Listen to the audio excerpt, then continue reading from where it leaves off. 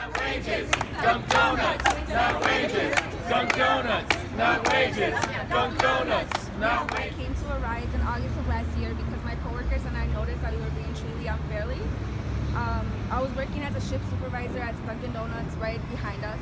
Um, I worked there and at different other locations um, with the same franchise owner.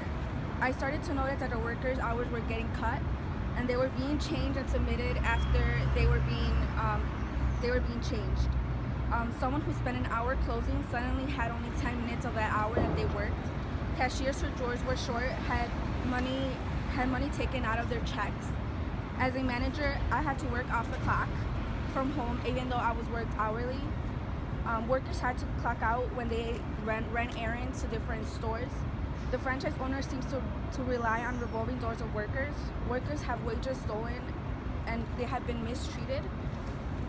So until they quit, they can't take it anymore. We're here to say that this could be such a better place to work. Um, workers, if the workers get paid correctly, treated us with respect, workers will stay. Decrease the turnovers and saves money and makes a stronger business. After learning more about our rights from Arise Chicago, we were referred to us by Kala um, and to our attorneys. Today we filed a class action lawsuit for wage thefts against this and other 15 related Dunkin' Donuts from the same franchise owner. Over 100 workers are facing a complaint today, and they have all their all of them have gotten money deducted from their check.